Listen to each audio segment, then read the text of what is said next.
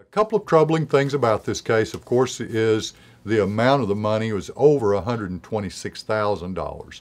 Now, this is not tax money. This is money that had been placed in the commissioner's account after property had been sold.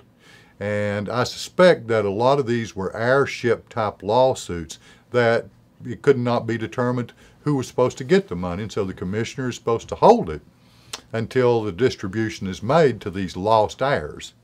I'm troubled by why did he not keep a closer eye on these accounts, frankly?